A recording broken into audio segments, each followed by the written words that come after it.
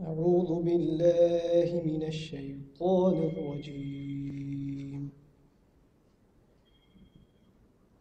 محمد رسول الله والذين معه أشداء على الكفار رحماء بينهم تراهم ركعا سجدا يبتغون فضلا من الله ورضوانا. سيماهم في وجوههم من أثر السجود. ذلك مثلهم في التوراة ومثلهم في الإنجيل كزرع أخرج شطأه فآزره فاستغلظ فاستوى على سوقه. يعجب الزراع ليغيظ بهم الكفار. وعد الله الذين آمنوا وعملوا الصالحات منهم مغفرة وأجرا عظيما. صدق الله العظيم. رب اشرح لي صدري ويسر لي أمري واحلل عقدة من لساني يفقه قولي. والحمد لله رب العالمين والصلاة والسلام على أشرف الأنبياء والمرسلين وعلى آله وصحبه ومن استنى بسنته إلى يوم الدين اللهم اجعلنا منهم برحمتك يا أرحم الراحمين أما بعد اللهم ثبتنا عند الموت بلا إله إلا الله أمين يا رب العالمين السلام عليكم ورحمة الله وبركاته Inshallah, I'd like to share with you a few sections of the Quran, and instead of sharing with you detailed accounts of a number of Sahaba, I'll share with you the, the accounts of one particular Sahabi that we can draw specific lessons from, inshallah. But before I do, I'd like to share with you another type of Sahabi, a different type of companion. Not one that's a role model, but that one that's, that you would look down upon. We find in the Quran another messenger mentioned and his companions mentioned in detail. And the amazing thing is because these are people that have passed, Allah subhanahu wa ta'ala speaks to the sons of Israel at the time of Muhammad sallallahu alayhi wasallam, but He speaks to them in second person. Okay, وَذْكُرُوا and you know, نِعْمَةَ اللَّهِ عَلَيْكُمْ, right? إِذْ جَاءَتْكُمْ مُوسَى بِالْبَيِّنَاتِ When Musa came upon you. Now notice, he didn't come on them. Who did he come on? He came on their forefathers. But he speaks of them in the second person only to make it highlighted, just as Allah subhanahu wa ta'ala speaks to those who have iman. Ya ayyuhalladhina amanu is also in second person. All those of you who believe. So all of those ayat you find in second person, particularly in Surah Baqarah. And so I'd like to begin with the negative and move towards the positive, inshallah ta'ala. For many, for all of us, we have not seen Muhammad Rasulullah sallallahu alayhi wasallam. And for the Sahaba that were seeing him, they had not seen Allah. They had not seen miracles from the sky or anything supernatural, save a few of them who saw some particular incidents that we can pinpoint. But for these specific companions of Musa والسلام, imagine this. You're about to be executed by a tyrant ruler. you're lost in the desert with this man who promises that he can save you. And you're crying to him saying, you, you, prob- you lied to us. Here's the army, it's coming upon us to destroy us and you brought us in the middle of this desert to be slaughtered like sheep. And he strikes his staff, and a body of water parts, and you walk right through it. If you were an atheist before, or if you were just tagging, tagging along for the ride before, thinking, hey, maybe he's right, maybe he's wrong, I'll take my chances. If I stay in Egypt, then I'm, for sure I'll be slaughtered. So notice in the Quran, Allah subhanahu wa ta'ala doesn't say, وَلَن نُؤْمِنَ بِكَ the, the Bani Israel don't say, we're not going to believe you. They say, وَلَن نُؤْمِنَ لَكَ Nu'minu bi and nu'mina la. Big, big difference. Nu'minu bi is to believe in, to confirm that he brought the truth. Nu'minu la, that in the Arabic terminology refers to to accept. We'll go along with what you're saying. The same thing Fir'aun said to Musa alayhi salam. He said, I'm not going to let them go. and he said, I, The chiefs of Pharaoh said, We're not going to let accept what you're saying. Your demands are to let these people go. We're not going to accept what you're saying. Their statement wasn't, We're not going to believe in you. That they had already given as a statement before. We're not going to believe in you no matter what. So the point was now to accept what he's saying, to follow him. So among the Bani Israel, there are those who might have been in doubt. Maybe this guy's crazy. Maybe he's maybe he's right. Maybe he's wrong. Why not take our chances? Because for sure we're going to die here. They go, they see a body of water part, they pass right through it, and that Fir'aun who they saw people make sajda to, that Fir'aun that armies used to crumble before him, they saw him perish before their own eyes. So if nothing else made you believe in Allah before that, and if it didn't make you take Musa salam seriously before that, I would think this incident would open your eyes. Right? This is a pretty big thing to, to watch, to see a body of water just open up. Now you're in the middle of the desert, and the first thing that human beings will suffer in the desert is dehydration. So you, wherever you're traveling with Musa, وَظَلَّلْنَا عَلَيْكُمُ الْغَمَامِ And we shaded upon you a cloud, the cloud. This al-ghamam used to follow them wherever they went. Now imagine that. You're in the desert, you're stranded, you're going to dehydrate out of the heat, but there's a, there's a cloud following you, offering you shade and offering you water. وَأَنزَلْنَا عَلَيْكُمُ الْمَنَّ وَالسَّلْوَى Now in the, in the desert, first of all, to have plantation that you can get bread out of is next to impossible. But Allah subhanahu wa ta'ala sends mann. Then He sends salwa upon them. And mann came through rain, which is miraculous in and of itself. But salwa, the natural instinct for any bird, if you try to catch it, is to do what? Just to fly off. But these salwa, they used to come, they're described in most of the tafsir as as the likes of quails. They would come in herds, they would come in packs. And they would just sit there at night waiting for themselves to be caught. Free food, literally. وَظَلَّلْنَا عَلَيْكُمُ الْغَمَامِ Free shading, free covering, lodging. Right?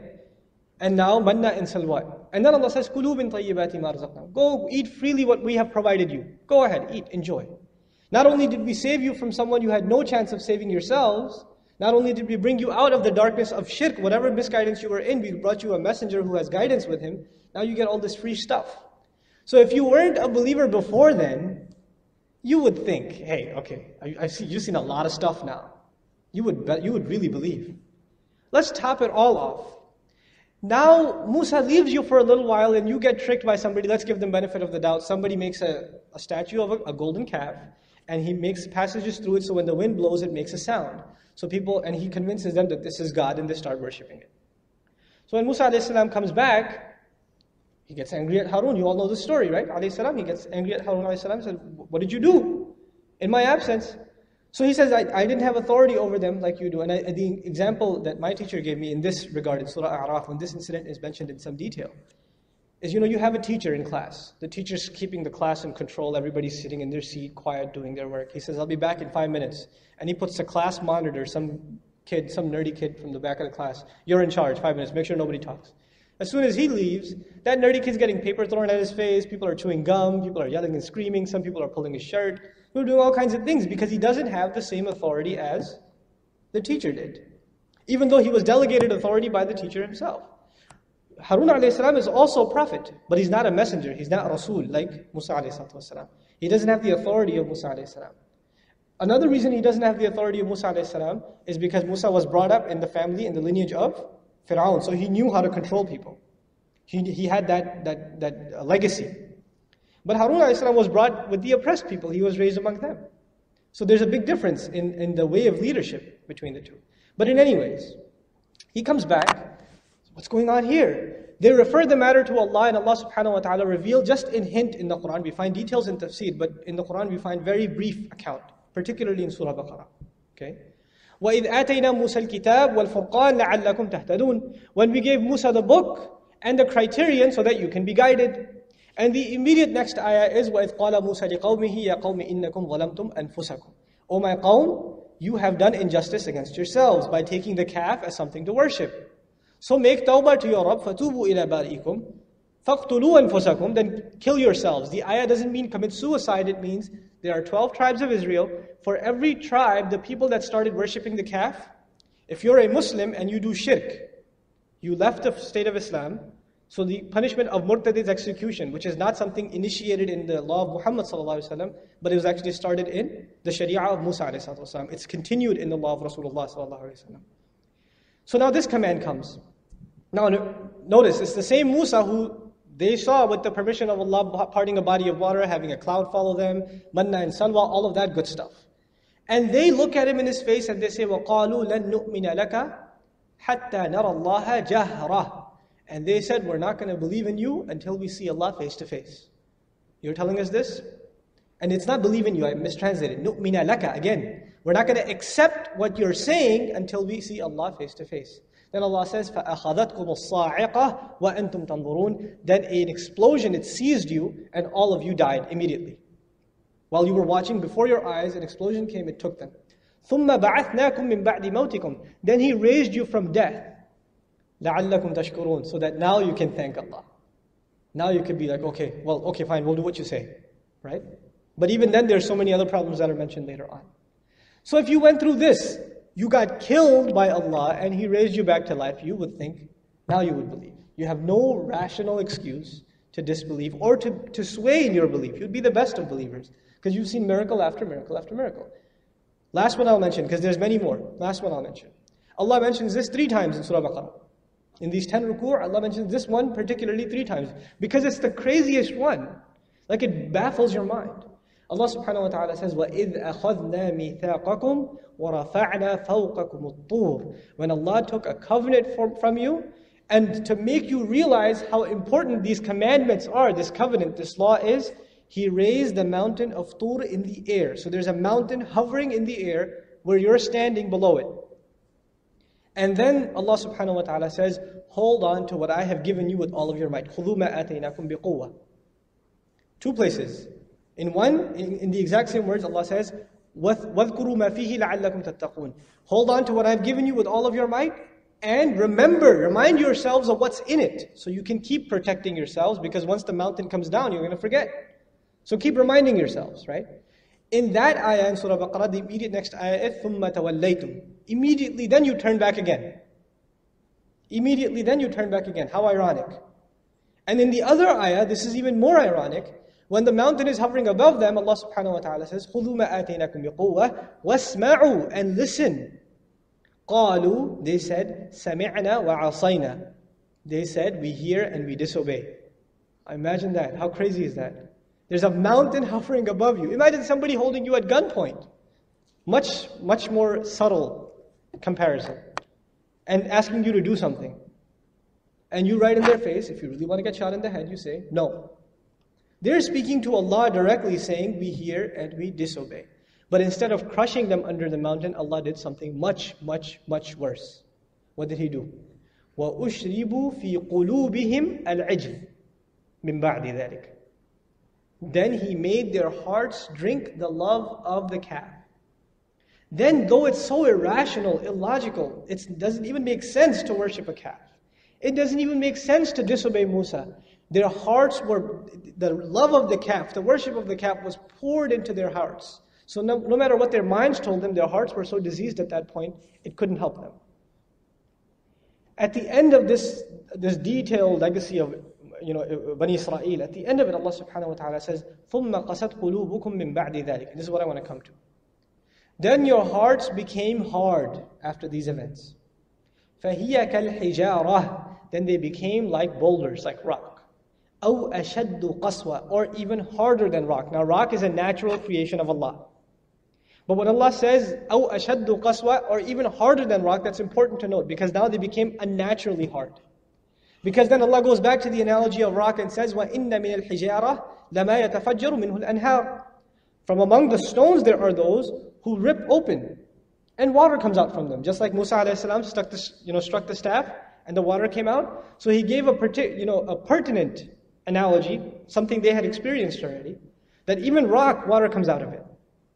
وَإِنَّ مِنْهَا لَمَا يَشَقَّقْ فَيَخْرُجُ مِنْهُ الْمَاءِ And some ulama say that this part of the ayah is referring to a part of the history of Bani Israel that is not mentioned in the Quran, but you find it in the Torah. It is that when Musa a.s. was taking them in the desert and he had commanded them to fight, not only did they were not going to fight, some of them conspired, this guy is crazy, let's go get and kill him. So when they tried to go and kill him, the mountain underneath they were standing started crumbling, and those who had attempted or plotted to kill him, among the Bani Israel, they got crushed, and then all of them, the rest of them made tawbah. So the next part of it is, وَإِنَّ مِنْهَا لَمَا يَشَقَّقُ فَيَخْرُجُ مِنْهُ الْمَاءِ Then from among them are those who split open and water comes out from them. وَإِنَّ مِنْهَا, مِنْهَا لَمَا, مِنَّا لَمَا يَهْبِطُ مِنْ خَشْيَةِ اللَّهِ And then from among them are those that they, they fall, the rocks start falling down from the fear of Allah.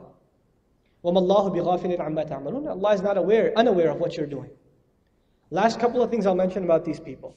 Because Allah gives that old, old history and then brings it back to the contemporary time of the life of the Prophet ﷺ.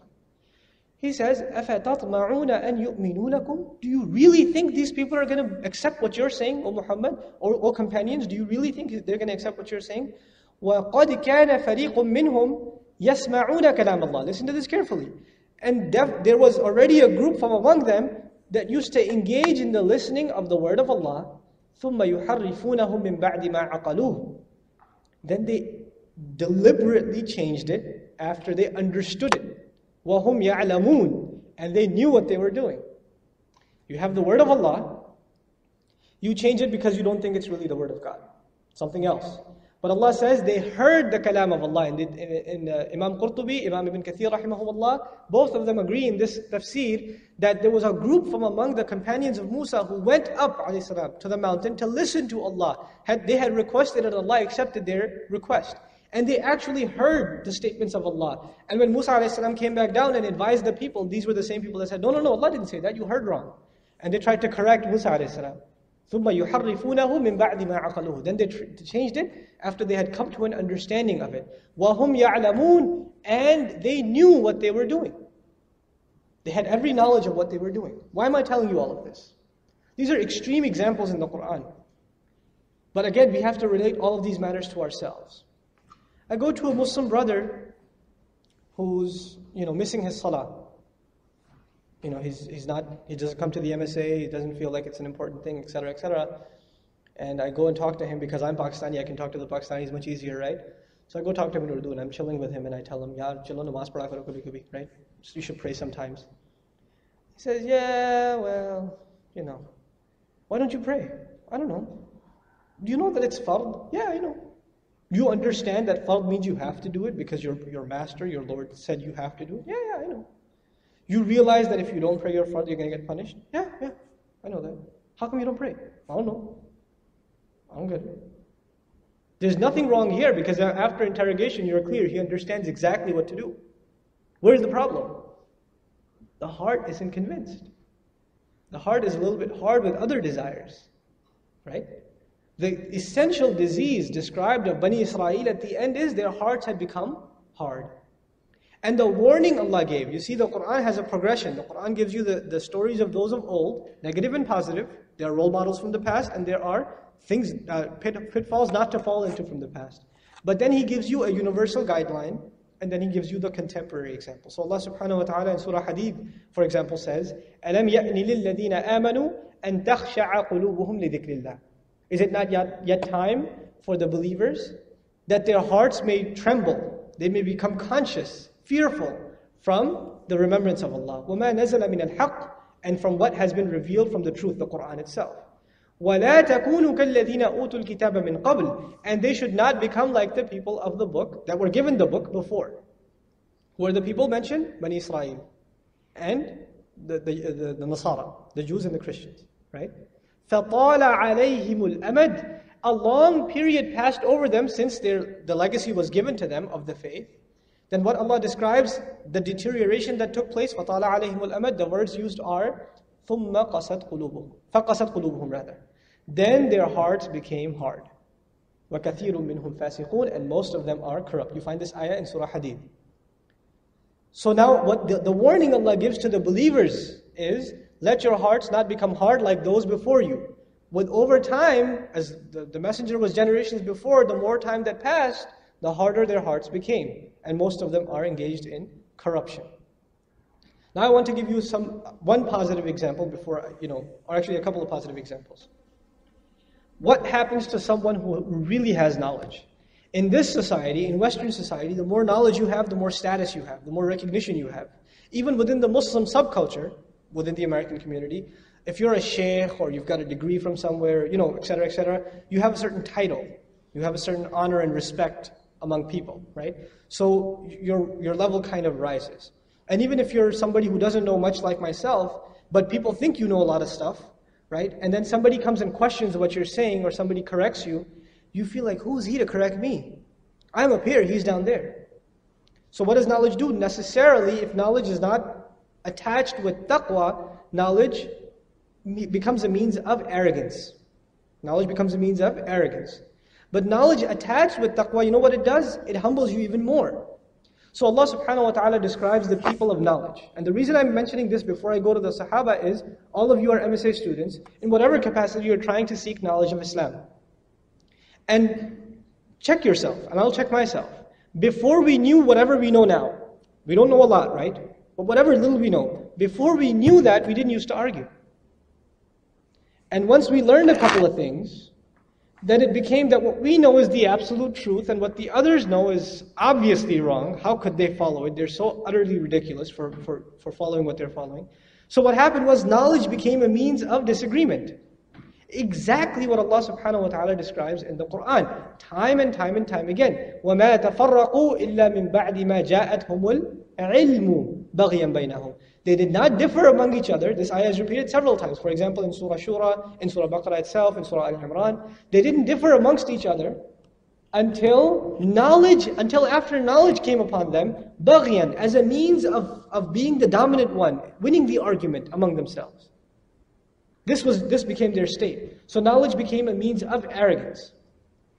But the people of real knowledge, Allah subhanahu wa ta'ala describes at the, almost at the end of Surah Bani Israel, Surah Al-Isra, where He says, إِنَّ الَّذِينَ أُوتُوا الْعِلْمِ إِذَا يُتْلَى عَلَيْهِمْ يَخِرُّونَ لِلْأَذْقَانِ سُجَّدًا The people of true knowledge, the ones who have been given real knowledge, when the ayat of Allah are recited upon them, then they fall on their faces in sajda meaning it humbles them. Their initial reaction in the next ayah describes that they're, they're falling in sajda and they're in tears. Knowledge is not something that brings you to tear unless you're a people, a person of true knowledge. Which means what? You have a lot of stuff in here, you memorized a lot of ayat, you know a lot of tafsir, you know a lot of sahabis' names and all that stuff, right? But your heart is full of the knowledge of the deen, which is a whole different matter. This, is, this has very little to do with knowledge as we understand it, academic stuff. This is a whole other field, it's a whole other ballgame. So now when the knowledge was here, it led them to cry. Knowledge here, you can read a chapter or two from any tafsir, it's not going to make you cry. But the knowledge here, when the people of true knowledge, when they heard the ayat, their hearts were the ones that forced them to cry and fall into sajda. To say, وَيَقُولُونَ سُبْحَانَ رَبِّنَا إِن كَانَ وَعْدُ رَبِّنَا لَمَفْعُولًا Having said this, Aisha radiallahu ta'ala anha is cooking her meal in her home. She sees from the far in the window, she sees Rasulullah coming towards her.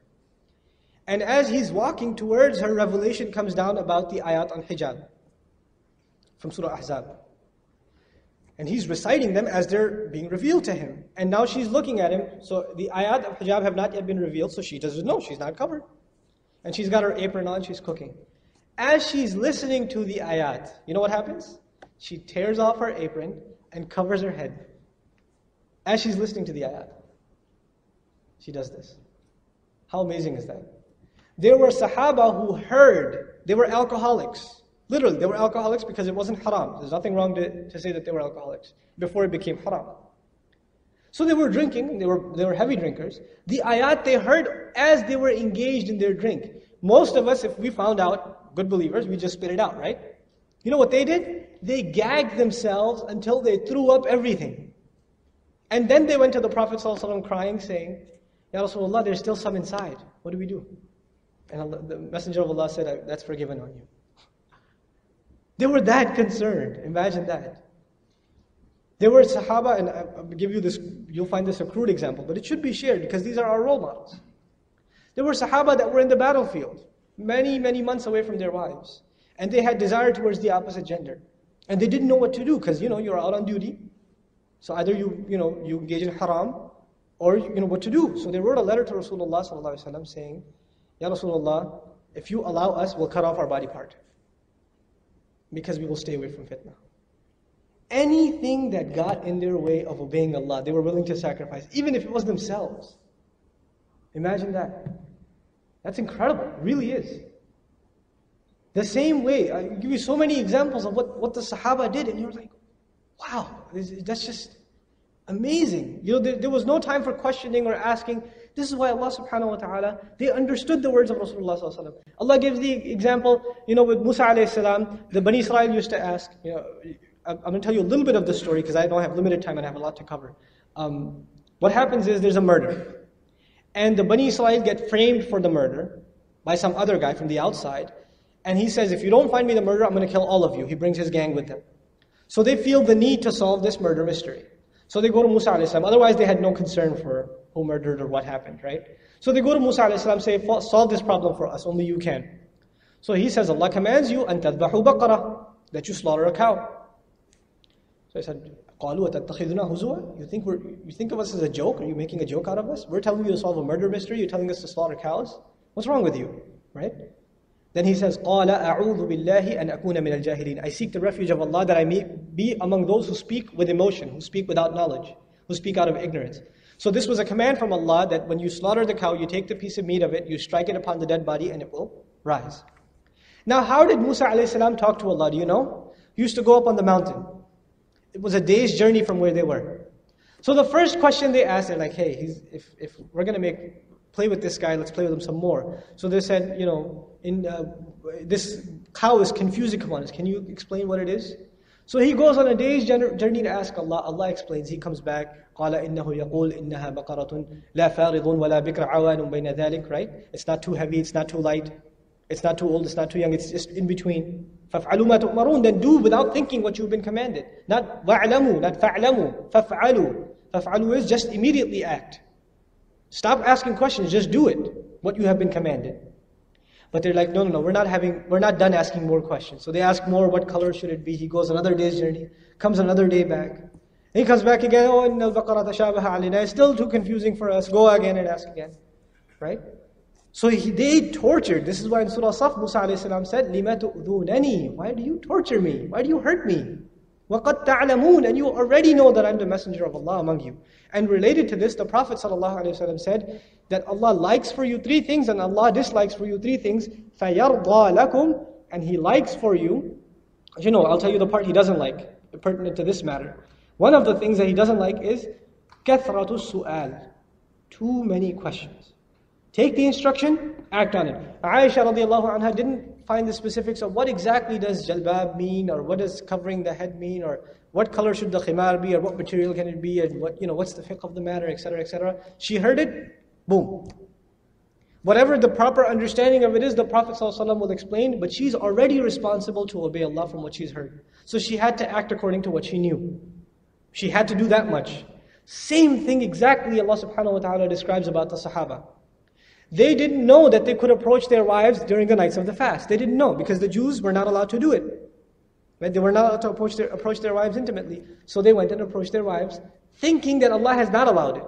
Some Sahaba made that mistake. So Allah says, عَلِمَ اللَّهُ أَنَّكُمْ تَخْتَانُونَ أَنفُسَكُمْ Allah knew that you were being dishonest to yourselves. Even Allah knew that it's not haram, but you were still being dishonest because within your limited understanding, you thought it was haram. Right? So taqwa has a, a huge role to play in our obedience to Allah subhanahu wa ta'ala. And taqwa lies in the heart, as the Prophet said in the hadith of Muslim Ahmad, at-taqwa hahuna, at-taqwa hahuna, at-taqwa hahuna. Taqwa is here, taqwa is here, taqwa is here. The fear of Allah lies here in the heart. So, and the consciousness of Allah rather. So that's the example generally of Sahaba. But I want to give you an example of a youth in particular. This man used to dress the nicest, he used to look the nicest, by the mushrikun standard, if there was a GQ magazine then, he'd be on the cover, right? He used to get all imported clothes. His shoes used to come from Yemen. That's like saying he, you know, wore Giorgio Armani suits. Or I don't know who the, who the top designer is. They all look retarded to me, but anyway. So anyway, so he, he wore really nice clothes and imported perfume and, you know, Mus'ab bin Umayr before he became Muslim. Very, very smart man, very handsome man. Many women wanted to marry him. Young guy, very smart, very intellectual. So even the chieftains were very proud that they have this man, this pride of their town in, in Mecca, in their household. He heard that the Muslims are being persecuted. So he said, I gotta, you know, I was curious about what this Muhammad is saying, sallallahu alaihi wasallam. Let me go find out. So he goes and sneaks into Darul Arqam to find out. He listens to a khutbah of Rasulullah as he's conducting a halaqah with the Sahaba, and he says, "This is what my heart had been saying all along." He accepts. He says, "La ilaha illallah Muhammad Rasulullah." He makes salah with them. Now he starts coming to the halaqas regularly, secretly. He doesn't want people to find out because to find out in Makkah would be a big problem, especially with his mother, Khunnas bint Malik. His mother was a very powerful woman. She had, a, she had a very controlling personality. He wasn't afraid of anybody else except his mother. Didn't want to mess with his mom, like many of us. Right? you can take on anybody. But you can't get on mom's bad side. So he's sneaking in, and one of the one of the kuffar they saw he saw him, and word spread, and finally got to his mother. So they called a town meeting from his tribe. They pulled him in. They said, "Is this true? You become a Muslim? Somebody seen you pray like Muhammad prays, and we saw you go into Darul Arqam. What's going on?" He said, "Yes, I become Muslim." I, what can I say? He accepted. He acknowledged. His mother's first reaction was to try to spear him. She was that mad. Then to hit him, but she couldn't do it. She loved him too much. So what she decided to do was she tied him up and she put him in the corner of the house with guards watching him the whole day. For days. Many, many days. He stayed in his house, just not even being able to scratch himself, just tied up, because he had accepted Islam. Then some news came, he heard from outside, or some of the slaves, some of the guards were talking, that some Muslims are fleeing to Abyssinia, to Habasha. He heard about it, the next chance he got when the guards weren't paying attention or sleeping, he escaped. And he went with them to Habasha. He left his family. He comes back, and then he went back again, but eventually when he did come back, his mother caught him again, and she said, You better leave this Islam business, otherwise I'm going to tie you up again. He goes, You can do it, but whoever you hire to tie me up this time, I will kill them. And she knew he meant it, so you know she didn't try it again. But then the least thing she could do, you know what she said to him? She said, You know what? This wealth you enjoy, these clothes you're wearing, these brand name and these imported shoes and imported perfumes and thobes and everything, this is not yours. This is from my wealth. Her exact words were, I can no longer be a mother to you. So leave this wealth. He's leaving his house. His uncle stops him. He says, You know, these clothes you're wearing right now, they're from your uncle. They're from your father, your late father. So they don't belong to you either. Take them off if you want to stay with Islam. He, the man who everybody looked to for fashion standards, the guy who was like, you know, this, the, the most handsome man, the most respected young man in the society, had to leave his house covering his shame with his hands. He had to leave his house naked. This is the state of Mus'ab bin Umair, anhu. Comes to Rasulullah, gets some, you know, some garb to wear. And now he starts, you know, and totally commits himself to the task of Muhammad sallallahu learning the Quran constantly. He's sitting with Rasulullah sallallahu learning and memorizing the Quran. And he was one of the most beautiful reciters of the Quran. So now the six people come from Medina and the Prophet has to send وسلم, a helper to go teach the deen. He has many choices. There are seniors like Abu Bakr as-Siddiq, Umar bin Khattab, right? Why does he choose Mus'ab? He's young, he's already shown his will to sacrifice, and he's a beautiful reciter, so he can bring people with his charm of recitation even to the deen. So the Rasul sent Mus'ab bin Umair to Medina. He goes to Medina, he's living with somebody else as a guest. And he starts going every single day, next neighbor's house, this one's house, that one's house, reciting Quran to them, bringing them to Islam, slowly but surely. And people, if they didn't come to Islam, they were mesmerized by the Quran, so they would come and sit in his gatherings, which bothered the chiefs of the tribes.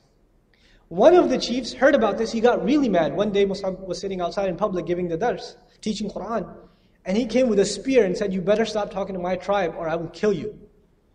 And Mus'ab, young man, if anybody else comes up to us, you're holding an MSA meeting, some guy walks in here. You Muslims better stop this, or I'm gonna take care of you outside in the parking lot, right? Oh, All of you like, oh yeah, bring it on. You know, this is what we would do. You know what he says, Mus'ab bin Umair? He looks at this guy threatening him, and he says, well, why don't you listen to what I have to say? If you accept it, well and good. If you reject it, I'll stop bothering you. Which just sounds fair. Put his spear, stuck it in the ground, he sat down, and Mus'ab ibn Umair started reciting the Quran very calmly. And the man heard it he said, This is the truth. How can I enter this religion? And he became a Muslim. And then he said, Oh, wait a second. I know a man, if he accepts, then his whole tribe will accept. Let me get him for you. And he went and got him too. And before this happened, incidentally, this was the chief of a tribe, right? He comes to Musab bin Umair and said, What can I do to enter this religion? Musab says, You have to go take a shower first and wear clean clothes. Then come back. So he goes, takes a shower, comes back, and then Musab ibn Umair takes Shahada from him, and then from the other tribes, and huge chunks you know, of, of Medinan tribes start coming into Islam. So Musab ibn Umair was the, the, the trendsetter for history. What we have now, what the Rasul had as a refuge in Medina, was the work of Allah through Mus'ab ibn Umair. This youth who decided to give up his wealth. In Medina, when the Prophet came, وسلم, one time he was giving a, a, a khutbah, a dars. And Mus'ab ibn Umair came and sat in the majlis. And a lot of people looked at him from Makkah, the, the ones that knew him. They looked at him and they looked down like this in shame. And a lot of them started crying. You know why? Because he was wearing a torn blanket. This was the man they remembered wearing brand name clothes and you know amazingly dressed. Nobody dressed as good as he did. Now he's wearing all of this only because he decides he's going to sacrifice all of his preferences for the sake of Allah. So some Sahaba even started crying. And, Musab, and Muhammad even looked at him and said, I remember you. You used to be very, very well dressed. Your family used to dress you well. They used to feed you well. And then the Prophet ﷺ advised and, and actually congratulated the believers that Allah will give them kingship of when they will have different clothes to wear in the day and different, different clothes to wear in the night. And the Sahaba said, Will we be better off then? And the Prophet said, No, you're better off now. You're better off right now when you don't have anything. Because then the love of dunya, what the Prophet meant, the love of dunya will enter into your hearts. In any case, Mus'ab ibn Umair, at the Battle of Badr, his brother is captivated. He's one of the prisoners with the Muslims the Rasul said, take good care of the prisoners. So his brother is prisoner and the Sahaba, they're eating food, they're eating rice and they're drinking water and they're giving the same amount of rice and water to him. Musa bin Umair walks by and he looks at his brother and he says to the guard, My brother, tie this kafir up tightly because his mother is rich, she'll probably give a good ransom to us. And his brother looks at him like, You're not talking to him, are you? You're talking to me, right? He goes, No, no, you're not my brother. That's my brother. His iman was such that he understood just like Nuh a.s. was made to understand. Those who are not in the boat are not your family. Those who fight against this deen, they're not your family. Those who believe with you, وَالَّذِينَ آمَنُوا وَعَمِلُوا الصَّالِحَاتِ لَنُدْخِلَنَّهُم فِي الصَّالِحِينَ in Surah Al-Ankabut. Those who have iman and engage in righteous deeds, we will enter them into a new affiliation, a new family of the righteous. لَنُدْخِلَنَّهُم You're being indoctrinated into a new family. Those who struggle with you in the way of this deen. So this was the character of Mus'ab ibn Umair. But I haven't gotten to the real part yet. What how Allah honored him. How Allah subhanahu wa ta'ala honored him. In the battle of Uhud, we know some Sahaba, and we and I'll say this and please understand it carefully, made an unconscious mistake. It wasn't a conscious disobedience of Rasulullah, but it was a misunderstanding at the hands of the Sahaba. So they came down from their positions. You know the famous incident, right? Now what happened was the mushrikun, their target was to assassinate Rasulullah sallallahu wasallam. So their attack coming down from the hill was targeted towards Rasulullah. Mus'ab ibn Umair was a smart man. He understood this. And he was the flag bearer. So he grabs the flag, stands apart in the way of Rasulullah sallallahu wasallam, so to direct traffic towards him, and starts screaming takbir. Allahu Akbar, Allahu Akbar, Allahu Akbar. Why? So the people who are going to assassinate him would get their direction, attention towards him first. So people start coming towards him and attacking him. A horseman comes by, chops off his arm, his right arm, from here. He was holding his, the, the, the flag in the right arm. He grabs it in the left arm. And as he grabs it, he knows. Why is he doing this? His love of Rasulullah sallallahu alaihi wasallam, that he's willing to let go, right? Of everything, of his own life. So he says, وَمَا مُحَمَّدٌ إِلَّا رَسُولٌ قَدْ خَلَتْ مِنْ قَبْلِهِ الرُّسُلُ Muhammad is nothing except a messenger. Messengers passed before him too. So even though I'm doing this for the sake of Muhammad, in the end I'm doing this for Allah. He knew this, he clarified this to himself, even though he knew it was hurting him that the attack to Muhammad is becoming more and more opened up. So he kept reminding himself, screaming as his arm is chopped off, وَمَا مُحَمَّدٌ إِلَّا رَسُولٌ The, the kuffar came and they chopped off the other side. Now, whatever he has left of his arms, he's holding the flag like this, screaming, وَمَا مُحَمَّدٌ إِلَّا رَسُولٌ قَدْ خَلَتْ مِنْ قَبْلِهِ الرُّسُلُ They came and they speared him and he died in that state. And then afterwards, afterwards, Allah subhanahu wa ta'ala honored what was in his heart and he put this ayah in Surah Al Imran. In the description of the battle of Uhud, you find this ayah, وَمَا مُحَمَّدٌ إِلَّا رَسُولٌ قَدْ خَلَتْ مِنْ قَبْلِهِ الرُّسُلُ Muhammad is nothing except a messenger. Messengers came before him too. أَفَإِن مَاتَ If in case he died, أَوْ قُتِلَ Or if he got killed, أَنْقَلَبْتُمْ عَلَىٰ أَعْقَابِكُمْ Are you going to turn back on your heels? فَمَنْ يَنْقَلِبْ عَلَىٰ عَقِبَيْهِ The one who turns back on his heels, فَلَنْ يَضُرَّ اللَّهَ شَيْئًا He could not harm Allah in anything. وَسَيَجْزِي اللَّهُ الشَّاكِرِينَ And Allah will soon reward the shakirin, those who are grateful. When Muhammad Rasulullah sallallahu looked at the body of Umair, you know, the, the shuhada were being given salams on the battlefield. These young men were give, being given salams by the, the, the because the Prophet ﷺ had instructed us, even to this day, that we're supposed to say salam on the shuhada. For they respond to the salams according to the hadith of Rasulullah sallallahu. So the, the, the Sahaba that survived the battle, they're going around giving salams to the shuhada. They got to the body of Mus'ab ibn Umair and all of them started crying. And when Muhammad sallallahu alaihi wasallam saw his body, you know what he said? He said, فَمِنْهُمْ مِنَ الْمُؤْمِنِينَ رِجَالٌ صَدَقُوا مَا عَاهَدُوا اللَّهَ عَلَيْهِ They are from, this is an ayah of the Quran that he recited when he looked at him. You know, we can recite these ayahs. But when these ayahs were recited by Rasulullah sallallahu it was something else. He said, from among the believers are real men that have already confirmed their covenant that was made with them, that Allah had made with them. فَمِنْهُمْ مَنْ قَضَى نَحْبَهُ Then from among them are those who have given their due already.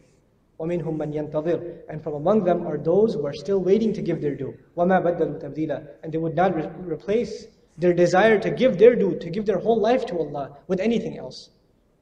They would not replace it for anything. This is the ayah Prophet Muhammad recited upon the body of Mus'ab ibn Umayr. As he lay, you know one of the reasons the Sahaba were crying?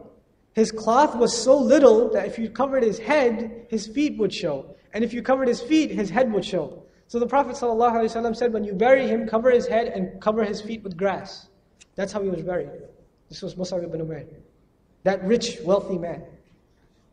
Why am I sharing this example with you? We're not in the battlefield. We're not, you know, we don't have to travel to from New York to Habasha or Medina, right? To get away from persecution. But we have a mission, and it's the same mission as that of the companions. If somebody comes and says to you, no, no, no, the companions, their lives are not relevant to ours, because that was then, that's a historical context. We need to understand it, but we need to reinterpret all of these values in Islam. This is all garbage. It's garbage because Allah subhanahu wa ta'ala Himself has given them the certificate. Radiallahu anhum wa radu anhu. Allah is pleased with them and they are pleased with Allah. You want to be pleased with them? You want to be pleased with Allah? And oh, you want Allah to be pleased with you? You gotta follow their model. How many times in the Quran, Muhammadur Rasulullah, in Surah Fath in particular, وَالَّذِينَ مَعَهُ And those who are with him. Allah honors the Sahaba. He honors the Sahaba in particular, like Abu Bakr as-Siddiq in the Quran, he honors him, calling him Thani Ithnain in Surah Tawbah. Like he mentions a nickname for, for Abu Bakr as-Siddiq. But for others, he mentions them in plural, in general. And he, he gives them so many honors in the Quran that we can't take away from them and say, no, no, no, this is just some intellectual discourse on the side. It has no relevance to how we behave. In this regard, I wanted to share with you the last ayah which I recited in the beginning of Surah Al-Fath. Muhammadur Rasulullah. In, there are linguistic differences of opinion on this ayah, but the more dominant opinion, which makes, which is consistent with the theme in the ayah, is uh, if you know some Arabic, Muhammad, Mubtada, Rasulullah, Khabar. But that's the um, not the dominant opinion. The dominant opinion is Muhammad Rasulullah is uh, ism wa na'at ism. أو موصوف صفة right? it's an adjective Muhammad the messenger of Allah صلى الله عليه وسلم والذين معه and those who accompany him those who are with him أشداء على الكفار they are intense against the kuffar they are severe against the kuffar this ayah is so easy to read now because you could call Bush a kafir or this one a kafir or that one a kafir and you're harsh towards them. But you know what? With the Sahaba, their mother was a kafir. For many of them, their brother was a kafir. Their father was a kafir. Their own son was a kafir. How could you read this ayah and think of your own son to be harsh towards him? To be willing to kill him on the battlefield? What kind of iman does that take? Read Surah Mujadala. Read the end on your own. Read the end of uh, Surah Mujadala. لا تجد قوما you will never find a nation يؤمنون بالله that you that truly believes in Allah يوادون من حاد الله ورسوله mutually engaging in a loving relationship with anyone who intentionally resists Allah and His Messenger ولو كانوا آباؤهم أو أبناؤهم even if they're their fathers or their sons and the ayah goes on if they're their brothers their relatives what is this the love of Allah subhanahu wa ta'ala took over everything else everything else all their other relationships were defined by who Allah loves. In this regard, and again, I'm going to share the last ayah of, of uh, Surah Fath, the, the, the, next part of it, but before I do, I want to share a hadith with you. The Prophet ﷺ said, Allah, Allah fi ashabi. Fear Allah, fear Allah in the matter of my Sahaba. لا تتخذوهم عرضا. Don't take them in a matter of disagreeing among you or arguing among you or, or criticizing them or saying this Sahabi made a mistake, this Sahabi said this, this Sahabi said that. Be careful of when you speak of them.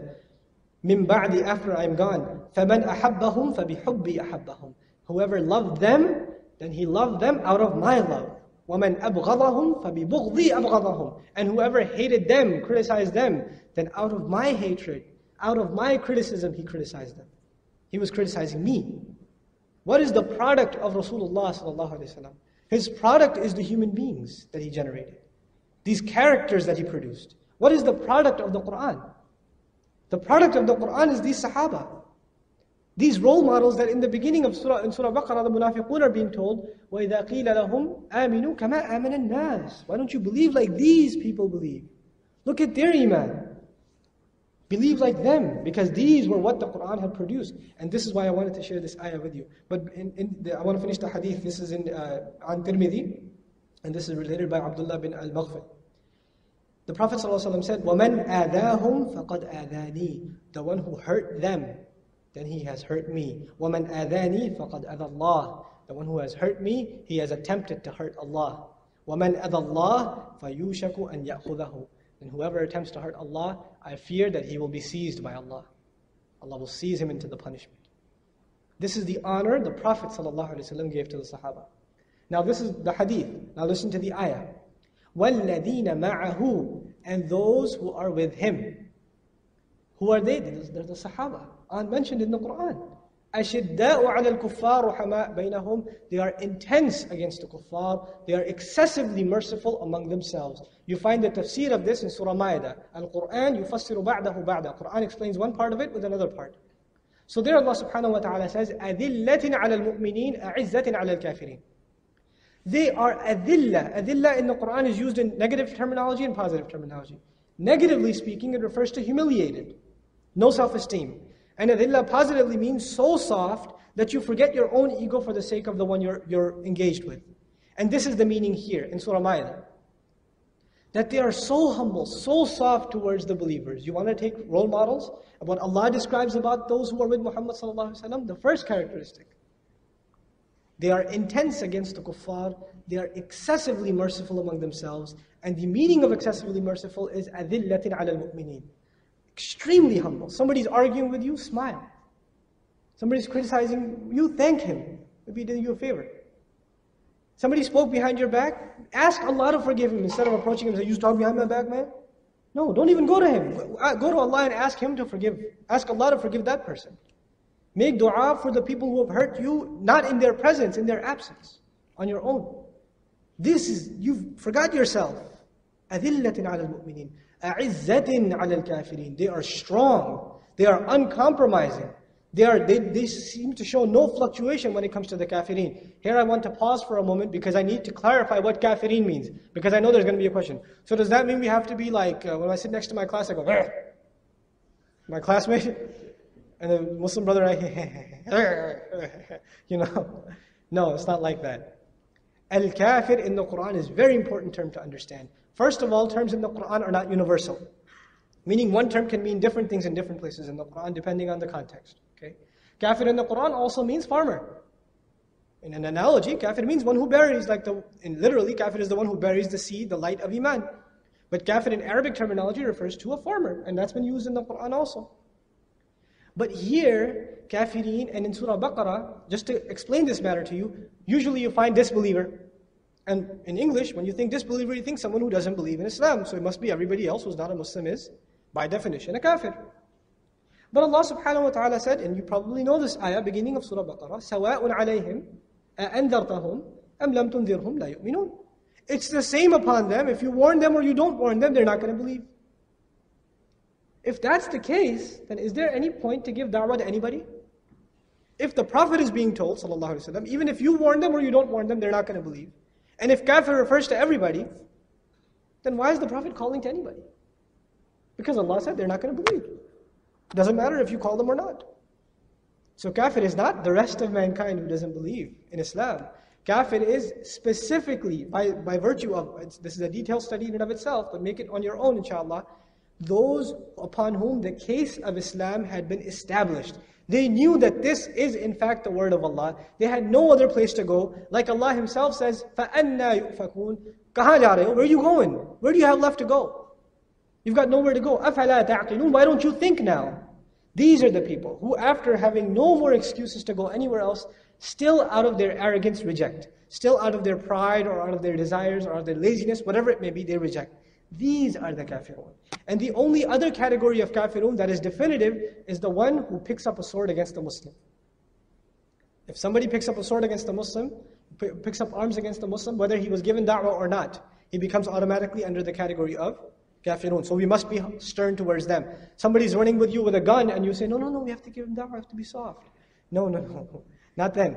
You got to be uh, a'izzatin al kafirin. You follow?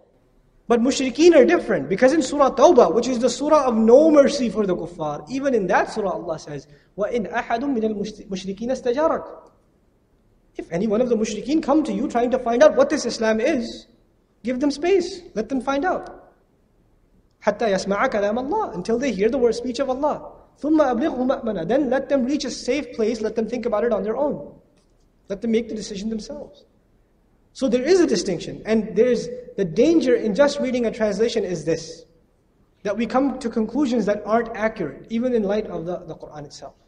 So, in any case, here Allah subhanahu wa ta'ala says, أَشِدَّاءُ عَلَى الْكُفَّارِ رُحَمَاءُ بَيْنَهُم تَرَاهُمْ رُكَّعًا سُجَّدًا I'm sorry, I, I need to go off on one more tangent. Surah Hujurat, which is the next surah. Allah subhanahu wa ta'ala gives a character of the Sahaba. ولكن الله حبب إليكم الإيمان وَزَيَّنَهُ فِي قُلُوبِكُمْ Allah has made Iman beloved to you and He has beautified it in your hearts. He has beautified Iman in your hearts. وَكَرَّهَ إِلَيْكُمْ And He has made disgusting to you الْكُفْرِ وَالْفُسُوقِ وَالْعِسْيَانِ Disbelief, rejection, corruption, and disobedience to Allah. He has made those disgusting to you. So the true believer is one, when he sees haram, he doesn't say, Astaghfirullah, I really want to do it, but I'm not going to do it. He says, Astaghfirullah, I am been sent by Allah to get rid of this. He hates it. He's not tempted anymore. That's when, the, that's when you reached Iman. When you're not tempted by evil, you're actually disgusted by it. That's Iman. Habbaba ilaykumul iman. Iman has been made beloved, not kufr and fusuq and isyan. That's what, what's been made disgusting to you. And part of the manifestation of these two ayat together, you see, Iman has been made beloved, and the believers who have Iman have been made beloved. Kufr has been made hated, and those who stick on kufr have been made hated also. Notice what happens to you. I'm going to give you a lay example. You're on your way, all of us are on this journey to Iman. We don't have perfect Iman. But you know, for the men here, and you're all men, I'm not going to say boys or guys, you're men. Before you turned to the deen and you were, have, you were, you were partying in high school or whatever, right? You don't have to tell me. I know. You maybe you were attracted to some non-Muslim women or you know the way they dressed in the kafir way, in the fasha way.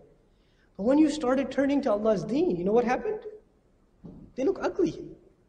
And the sisters that are covered and wearing hijab and you don't see anything, they're the most beautiful thing you ever seen.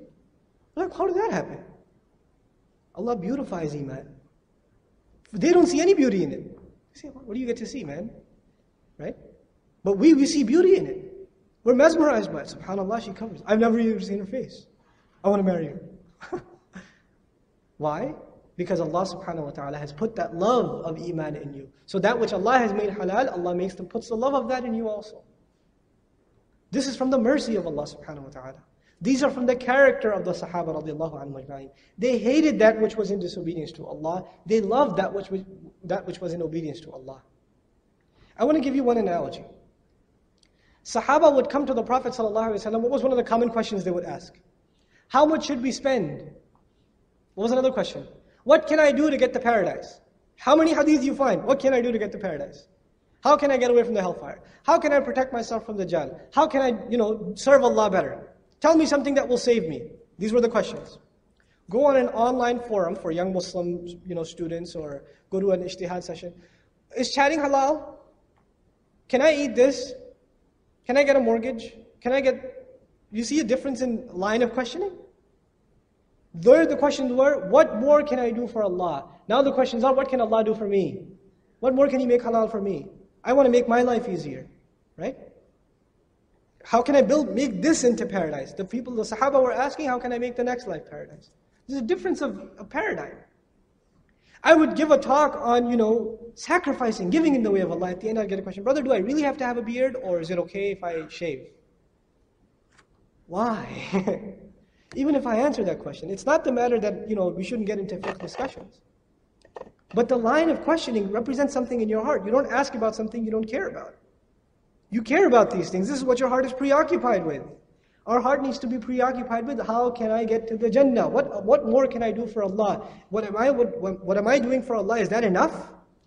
Have I fulfilled my obligations to Allah? What can I do more for da'wah? What is da'wah? How can I embody what was, sent, what was given in the Quran as, as role models for da'wah? How can I better my salah? How can I give more in the way of Allah? What to give? How to give? These were the questions that were asked because people were concerned with building the next real estate, not here. They were concerned with the paradise. So now Allah describes what they look like. تَرَاهُمْ رُكَّعًا سُجَّدًا You will see them. رُكَّعًا سُجَّدًا is beautiful Arabic terminology. They're in plural, raki' and sajid, rukka' sujjad, okay? But now they are this is sifa. Now rukka'an wa sujjadan. Can you be in ruku' and sajda at the same time? It's impossible, right? Allah says rukka'an sujjada. They in ruku' sajda. You see them in sajda ruku'. He didn't say rukka'an wa sujjadan. That would be you see them in ruku' and you see them in sajda. So what does this ayah mean? These are actually states of being, states of character that Allah subhanahu wa ta'ala is describing. You see them bow themselves down, like Allah says to Bani Israel. Irka'u ma'ar Bow yourself down like those who have bowed themselves down. You will find them that in Surah Hajj, Allah subhanahu wa ta'ala makes the call to the believers. Ya ayyuhalladhina amanu irka'u wasjudu wa'budu rabbakum, right? Make ruku', make sajda, and make sajda. You see in salah also, just by, by your shallow observation, you see that ruku', somebody who doesn't know what prayer is, somebody's humbling himself, right? But sajda, somebody's humbling himself a lot more. So what do you see? You never see them in a state of ghafla. Either you see them humble, humble themselves, or you see them in even more submission. Either they're engaged in Allah's work, or they're really engaged in Allah's work. There's no other thing. قِيَامًا وَقُعُودًا وَعَلَى جُنُوبِهِمْ Standing, sitting, or on their sides, lying down. All the time they're in the remembrance of Allah. The only matter is what the intensity of it is. But it's all the time. There's no weekends. There's no time off. There's no, like, you know, on Eid we just kind of like laid back after Ramadan, the ibadah is done. It's three days of just chilling and partying and PlayStation and whatever else, right? There's none of that because rukka'an sujjadan. Why? يَبْتَغُونَ فَضْلًا مِنَ اللَّهِ Beautiful ayat. They are seeking energetically. Ibtagha yabtaghi is to seek energetically, enthusiastically. فَضْلًا مِنَ اللَّهِ the blessing from Allah. Fadl means, blessing is a weak, you know, English word. Fadl and ajr. Ajr is reward. You know, you make salah, you expect Allah to reward it. Fadl is you're asking Allah to give you something you don't even deserve. Allah just give. I know I don't deserve. So they're seeking the blessing of Allah more than what they've done. They're seeking the mercy of Allah, the blessing of Allah. What idwana, and on top of everything else, they are seeking His contentment, that Allah be pleased with them. This is the ultimate fadl of Allah. You know, it, it, this reminds me of end of Surah Baqarah. I know I'm big on tangents, I'm sorry. Allah subhanahu wa ta'ala says at the end of Surah Baqarah, we are made to, we are asked to make dua. فَاعْفُ عَنَّا وَاغْفِرْ لَنَا وَارْحَمْنَا أَنْتَ مَوْلَانَا فَانْصُرْنَا عَلَى الْقَوْمِ الْكَافِرِينَ In the Arabic, if in a, in a, probably in an average translation, you'll find forgive us, forgive us, and forgive us, or synonyms of forgiving. فَاعْفُ عَنَّا وَاغْفِرْ لَنَا وَارْحَمْنَا And show us mercy. So forgive us, forgive us, and show us mercy. Well, how come? And all three of them have to do with forgiving, right? Showing Allah showing mercy. How come these three terms are used? Fa'afu anna is lovingly overlook our mistakes in this life. When we are doing work for you, O Allah, we will fall short. Keep overlooking those mistakes lovingly. On the day of judgment, waghfir lana, cover our mistakes. Ghafur, the attribute of Allah, is to cover. Right? Warhamna, and show us mercy and enter us into the paradise. You see, on the day of judgment, the believers are described that they are يَسْعَى نُورُهُمْ بَيْنَ أَيْدِيهِمْ وَبِأَيْمَانِهِمْ There's a light of Iman, the real faith coming out from their, the front, and the light of their good deeds, what they did for the sake of Allah, coming from their right and they're in the dark, they're walking towards the paradise. But you know what? That's not enough to get them there. Their iman and their good deeds are not enough to get them there. So they say, رَبَّنَا أَتْمِمْ لَنَا نُورَنَا O our Rabb, complete for us our light. warhamna innaka ala kulli shay'in qadir. And show us mercy, you are upon all things powerful. So in the end, you need Allah's light to get you there. This is why when they get to the paradise, they say, Alhamdulillah, alladhi hadana lihada. All praise belongs to Allah. All thanks belongs to Allah, who guided us to this paradise. We could never have guided ourselves. Lawla an hadana Allah, had it not been Allah who guided us. So these are from the, the, the, the things I'm trying to share with you regarding the Sahaba is they were conscious of where they're heading. Everything they did had this outlook. You guys are in your careers now, you're in your studies now. Why are you in the study that you're in? Oh, I like it. Well, what does Allah like for you? And you know what? One of the big problems I see personally, it's, it's a Christian disease in my opinion, and it's injected itself into the ummah. I really want to memorize the Quran. I really want to learn tajweed. I really want to learn fiqh. I really want to study tafsir. I, I, I, I, I. What does Allah want you to do? This question has disappeared almost. What is the need of you? What, what capabilities do you have? And how can you maximize them to your full potential, even sacrificing what you might want to do? Because that, that may not be the priority, that may not, be the need. The need may be something you don't have a, you know, a, uh, an inclination towards, but it's a need. And Allah subhanahu wa ta'ala is asking of, of it. I'll give you an example. I hate talking to strangers. Personal example. I hate talking to strangers. I'm sitting in the train, getting, the, you know, I went to Baruch to do some paperwork. I came back. I'm sitting in the uh, Long Island Railroad. There's there's a white guy sitting next to me, you know, trench coat, suit, the regular corporate guy, right? Rush hour. And 45 minute train ride. I'm sitting next to him. I'm like, well, I really don't want to talk to him. I really don't want to talk to him, right? Because he was cursing on the phone, et etc., etc. I, you know, I, I was discouraged. But then I'm like, but then on the day of judgment, whether I like to or not, Allah will ask me for these 45 minutes. And he was a financial analyst. I could, I could tell he had a Wall Street Journal on him or whatever. So I'm like, what can I talk to him? What can I talk to him about? I gotta find something. I see like a newspaper on the floor. I think it was the New York Times. Pick it up, open up the you know the financial section. I'm like, oh, I have, I have no idea what financial market is. Okay, There's no idea. Like, Man, the market's crazy nowadays. He's like, yeah, it's just unbelievable. I'm like, yeah, start talking. 45 minutes go by, he shows me the picture of his daughter and how he left Catholicism and he's searching for the truth. And he I invited him to the masjid. He's bringing his whole family, inshallah, in a couple of weeks to, to come to the masjid. But I didn't want to talk to him. I didn't. What am I trying to tell you? The Sahaba didn't care for what they wanted. Even in the matter of deen, shaitan will come to you and say, Do this, you're really good at it. Hey, learn to recite more. Take, take 20 hours just learning to recite. Forget everything else you got to do for Allah. So in the end, people, mashallah, he recites really, really good. You got to figure out what, you're the slaves, Allah is the master. So what you want to do for Allah is even dictated. This is what I'm trying to convey to you. And this is what the Sahaba understood. This is when they gave their pledge of allegiance to Rasulullah they said, fil usri wal yusr, fil manshat wal makra, fil manshat wal. They said, in difficulty and in ease we will follow you. Whether we're inclined to follow you or we're not inclined to follow you, we will follow you. This was their character. This is what we need to really, really understand. Because the, you know, see what happened in Christianity and the continuing deterioration in Christianity is you, you go to church and the way they invite you to church now is we're going to have a, a, a, dance party or we're going to have a festival or we're going to have a pinata or we're going to have you know a, a, balloon sale or whatever. They're going to do these all these you know fun things, right? And people come to church and they feel good about themselves because they, they had a good workout. You know, they're like you know doing all kinds of things which make them feel better about themselves. So uh, Christianity, to keep its audience, it's now what it's doing is not what you can do for God, it's what God can do for you. And that mentality at a much lower level at this point, and inshallah it'll, it'll disappear, it won't increase, is seeping into the minds of Muslims. What can Islam do for me? Or what can I do according to my inclination, according to what I want to do for Islam? This is one thing we have to be careful of. Because the, the mandates of the Sahaba were dictated by Rasulullah, dictated by the Quran. Whether Musab wanted to go to Medina or not, whether he wanted to leave the company of the Prophet or not, I would assume he loved the Prophet so much he didn't want to leave him. But he understood he had to go. So he went. Abu Bakr as-Siddiq, now I'll give you this example of the love the Sahaba had for the Messenger He's sitting with Rasulullah and the mushrikun come and they start cursing Abu Bakr as-Siddiq, cursing his wife, cursing his sister, cursing his mother, all kinds of obscene language. He's sitting there quietly. Sabr. They said, Abu Bakr is not going to move like this. They start cursing Rasulullah and his family. At this, Abu Bakr Siddiq got up, enraged. As soon as he got up, the Prophet walked away.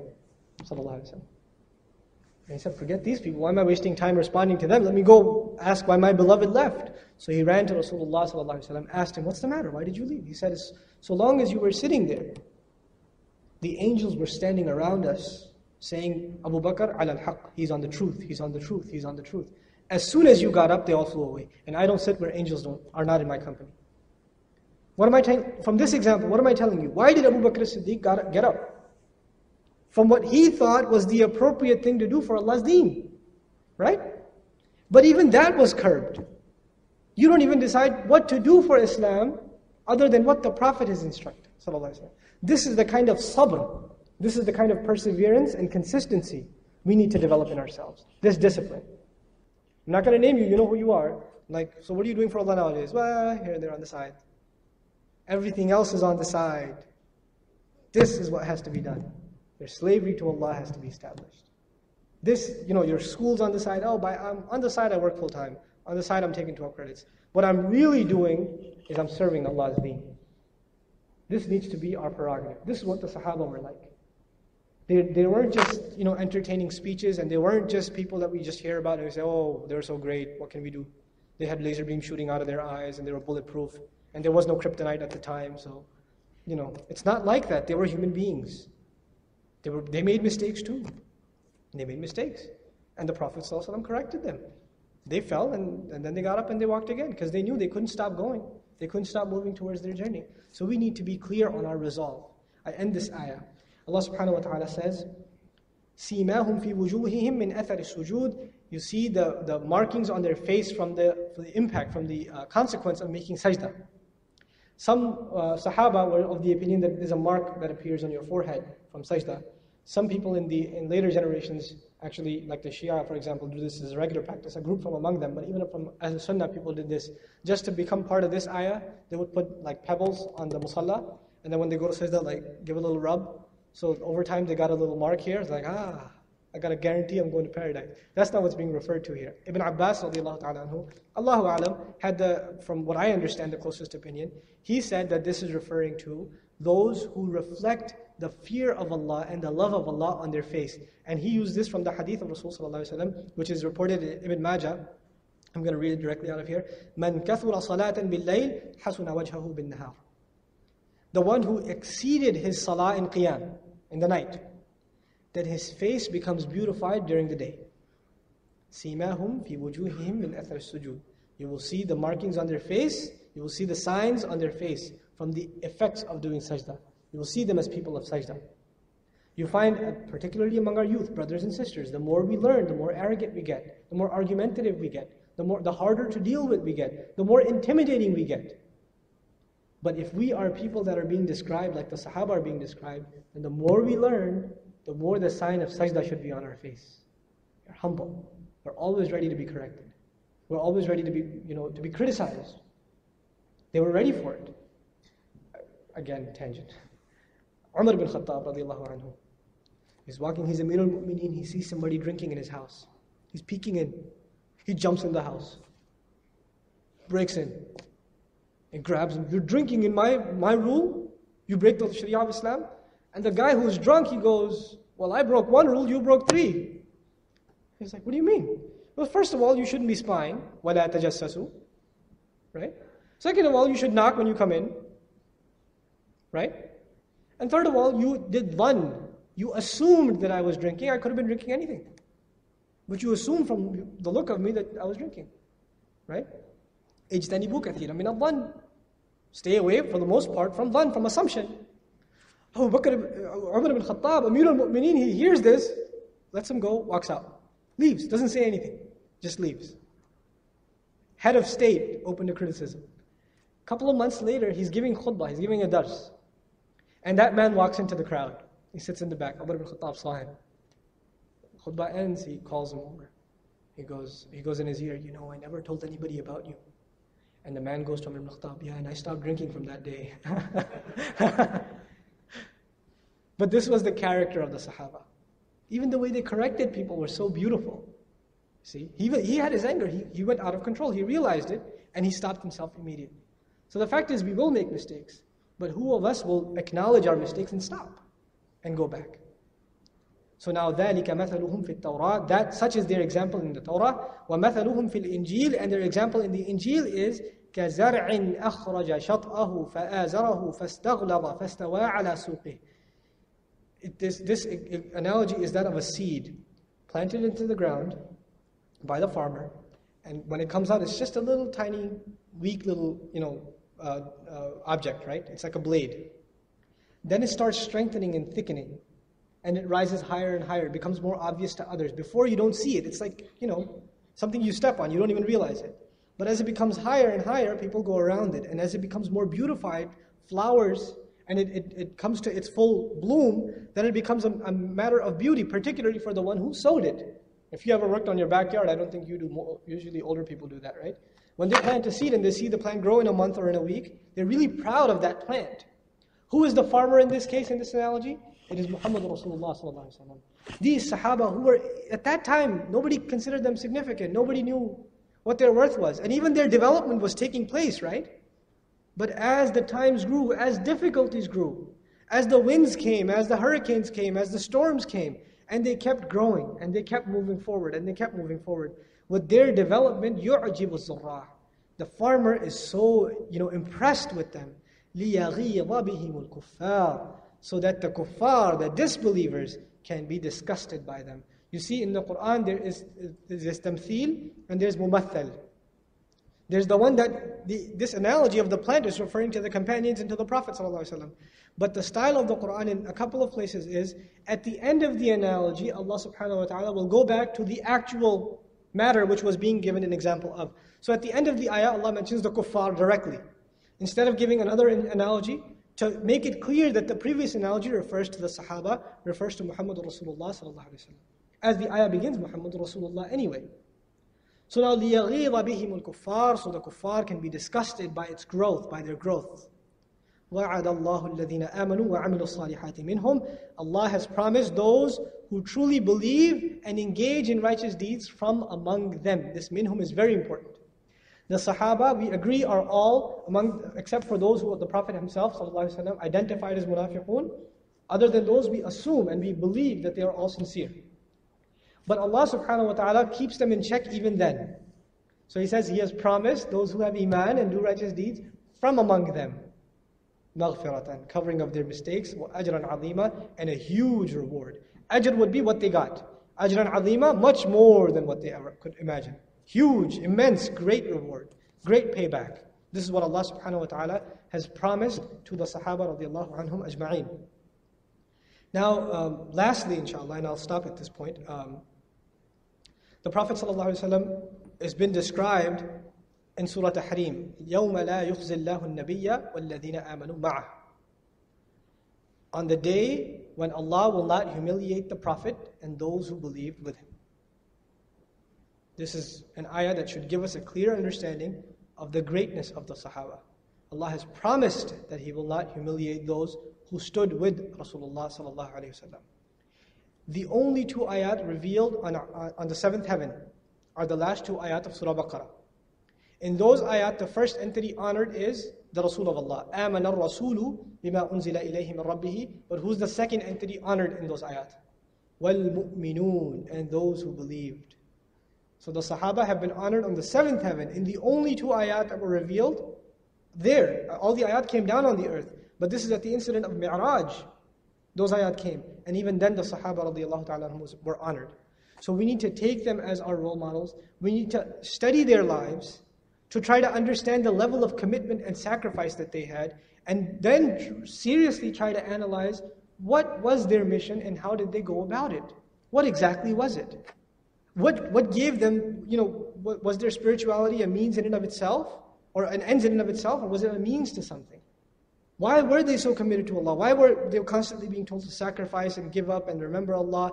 In the middle of the battlefield, they're being told, angels are with you. In the middle of the, the discussion of Anfal, there's a discuss, you know, disagreement among the, the hypocrites are raising this issue, and some you know, Sahaba who didn't know too much raised the issue, saying, you know, we should get some you know, booty, more than booty than, than the the muhajirun are getting. Second ayah of Surah Anfal, إِنَّمَا الْمُؤْمِنُونَ الَّذِينَ إِذَا ذُكِرَ اللَّهُ وَجِلَتْ قُلُوبُهُم The true believers are those when Allah is reminded, their hearts tremble. وَإِذَا تُلِيَتْ عَلَيْهِمْ آيَاتُ زَادَتْهُمْ إِيمَانًا When his ayat are recited, their iman goes up. وَعَلَى رَبِّهِمْ يَتَوَكَّلُونَ And upon their Rabb they put their whole trust. To, to embody the characters of the Sahaba, we need to become a people of sabr. We need to become a people of commitment. We need to become a people of resolve that we will dedicate our lives to the service of Allah's deen. And everything else must revolve around this work. So inshallah ta'ala, I pray, I ask Allah subhanahu wa ta'ala that He give us the, the courage and the commitment to follow the legacy of the Sahaba radiallahu anhu I ask Allah subhanahu wa ta'ala that He forgive our shortcomings as people that are trying to serve Him and make mistakes constantly, that He overlook our mistakes and take the good from what we have done, and that He keep purifying our intentions and He help us to purify our intentions so no criticism or no praise gets in the way of us doing the work of Allah. That we only do work for Him and for no one else. If I have said anything incorrect, I ask your apology in advance. And if I have said anything good and true, it is only by the mercy of Allah. Assalamu alaikum wa rahmatullahi wa barakatuh. Sure, if there are any.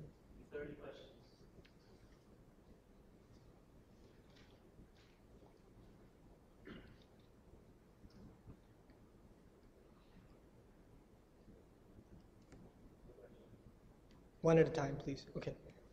Um, when the companions wrote to the Prophet yeah. Uh, about cutting off their body part, what did the Prophet respond? He said fast. He said uh, basically fast. Do what Allah has prescribed as a solution. I think he said something else too.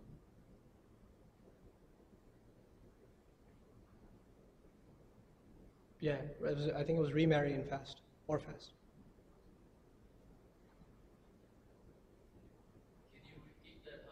About, um, the, deed, the, the whole hadith? In, um, I, I, it's the hadith, the, the nas, the narration is in my notes, so I'll have to give you another time, but I'll give you the text of it from what I memorized. Uh, Allah is pleased with you with three things, and He dislikes for you three things. فَيَرْضَى لَكُمْ Then He likes for you, and تَعْبُدُوهُ وَلَا تُشْرِكُوا بِهِ شَيْئًا That you enslave yourself to Him, and don't do shirk with Him of anything. وَأَن تَعْتَصِمُوا بِحَبْلِ اللَّهِ جَمِيعًا And that you hold on to the rope of Allah altogether. وَلَا تَفَرَّقُوا And that you don't differ among yourselves. فَيَكْرَهُ لَكُمْ And then He dislikes for you, and قِيلَ وَقَالَ That you communicate, you pass forward that which you heard meaning you heard something and you just pass it forward without verification. وَكَثْرَةُ السُّؤَالِ And asking too many questions. وَإِضَاعَةُ الْمَالِ And hoarding of wealth for the sake, for the love of wealth. These are the three things that Allah does not like for you.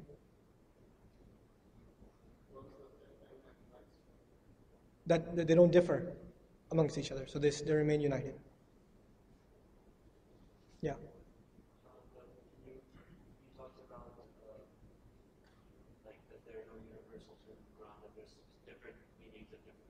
Mm-hmm. Whereas if you talk about um, the definition of also about where did you um, where did you get that from? Because like my understanding has been for a long time, like what you said that it's not you know, anybody who's not Muslim who's automatically is. Oh wow, really? That's a problem. Yeah, that was until very recently. Uh, but I still didn't really know. Uh, besides, besides, I think uh, I, I heard that you know Imam Ghazali had said it I didn't know where else it had been, what the understanding Oh, it's, it's fairly clear. Um, it becomes clear from contextual analysis. So you'll find it in tafsir like Imam Nasafi's tafsir, who's a linguistic tafsir, right? It's a classical linguistic tafsir. Uh, you find some mention of it in Imam Ibn Kathir's work and Qurtubi's work. Um, there, this matter was of more of a technical theological discourse outside of the Quran are all non-Muslims kafir? Is everybody going to hell, etc., etc.? And there were like issues raised regarding it, but those matters are clear. Um, we're not talking about people's salvation here. We're talking about who to take as an enemy in this world. That should be clear first and foremost, right? To, uh, those have been made very, very clear in the Quran. Like, for example, the ayat that talk about kafirun in the Meccan Quran are late Meccan ayat. Early Meccan ayat are just warning. People do this, people do that, you do this, be warned, be warned of the hellfire, and they will be cast into the hellfire, etc., etc. But kuffar as a term And, and their criticism as a people, specifically of the mushrikun, comes in late Meccan Quran when they had sent their poets and their poets were defeated, when their intellectuals had said this is not the, the word of a human being, when there was no way out for them intellectually to go to anywhere else as the truth but Islam. Then what Allah passed as a verdict on them was this issue of kufr, that they're now they're in a state of kufr, right? Um, Secondly, kuffar as a term to fight against and to take as enemy has been used in the ayat that refer to the battles. So you find it in Surah Anfal, you find it in Surah Tawbah, you find it in Surah Ahzab, you find it in Surah Al Imran, uh, Surah Baqarah also, wherever you have mention of the battles. So you'll find that they have been termed. So that's why I, I give you two instances. Now, the beginning of Surah Baqarah, there's three categories of people, very famous, right? Disbelievers, uh, believers, disbelievers, and hypocrites. The classical hypocrites is the sons of Israel. And the contemporary hypocrites are the, the people that say they believe but they don't really believe. Right? Both of them know the truth. The, the Bani Israel know the truth because Allah says, يَعْرِفُونَهُ They recognize Him, that they recognize their own sons. So they know the truth. And the, the munafiqun know the truth. And knowingly, if they reject, then they become from the kafirun. This is why when Surah Tawbah came down, Umar ibn Khattab's comment regarding Surah Tawbah was, before the surah came, there used to be mu'min, munafiq and kafir. After the surah came, there's only mu'min and kafir. What did he mean by that? He meant that the munafiqun, Allah has exposed them so much that they shouldn't be under any assumption that they're Muslim. They should be clear now that they're either on this side or the other. Okay? So this is, this is something that has to be, uh, it's, a, it's a sensitive study, but if you study Quran as a cohesive text by itself, these, these issues become very, very clear. Um, you probably are familiar with the idea that there are several types of tafsir. Right? There's tafsir asbab al-nuzul, like Ibn Kathir rahimahullah, which is famous for a, a common audience nowadays. But there's uh, tafsir al-rabt bain al-ayat. There's tafsir of the, the interrelationship between ayat and themes that are presented them, that have presented themselves in different places of the Quran and how to take them comprehensively. And work on them has been done more recently than has been done before, though early work had been done on it. But certain issues weren't a major concern in Muslim civilization like they are now. So more, the, even traditional scholars have done more work along these lines more recently than they had done before. So it should be, you know, um, one of the, the common, uh, I feel, mis- misnomers is that you should reject any contemporary scholar, what he's saying, because he's a contemporary, you only refer to the classical scholars. Look at the content, not the person speaking. Look at the, evaluate what they're saying, what their, what their proofs are, how, they're how sound their judgment is, and then make your decision instead of just categorizing, well, this guy is from here or he's not, he was born in 17th century, what does he know? And this one was from 3rd century, so he probably knows a lot more. That is true. They, they did have more classical knowledge. But sciences, particularly Islamic science, also developed over time. And I, I just want to give you one example of that. The issue of the miracle of the Quran. There were divisions among the scholars of what the miracle of the Quran is. One category of them said that the language of the Quran is a miracle. And they did extensive work on it, like Abu Bakr al-Baqillani, for example, rahimahullah, right? Zamakhshari, rahimahullah, um, who later became Mu'tazila, but that's a whole other story. These scholars, they did work on every ayah. Like they would say, how come this word is placed before, this word is placed after? How come a synonym wasn't used? How come this was used? So they were, in their approach, they were in a sense atomic. Like they would look at each ayah as a miracle and describe the linguistic features of the ayah. Contemporary work shows how the surahs, how they're paired together, how they're like, there's an order in the Quran which seems random, is actually very schematic. And there's a flow in it. But this is more contemporary work. Work was done on this like, you know, 40, 50, 60 years ago by traditional ulama themselves. But that's still significant amount of work, which is an area of, of study that we haven't dived in, had not dived into before. So, um, just as, a, as a, a simple response, there are still things being said about the Quran that don't contradict our tradition, but rather enrich it. So that, that should be kept in mind, inshallah. Open mindedness is a good thing.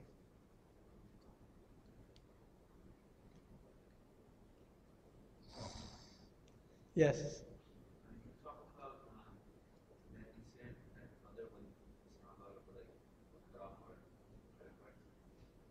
Say that again, please.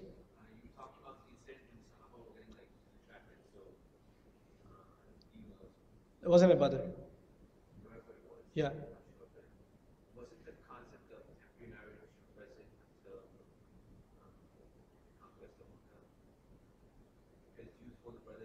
This is after the conquest of Makkah. No, no.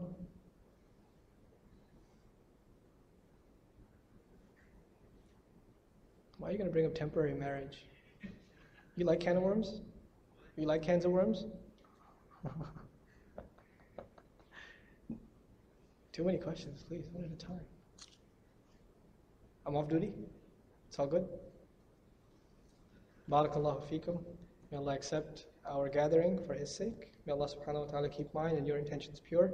And may Allah remove any ill feelings we may have to, towards each other in our hearts. Jazakumullah for inviting me. Assalamu alaikum.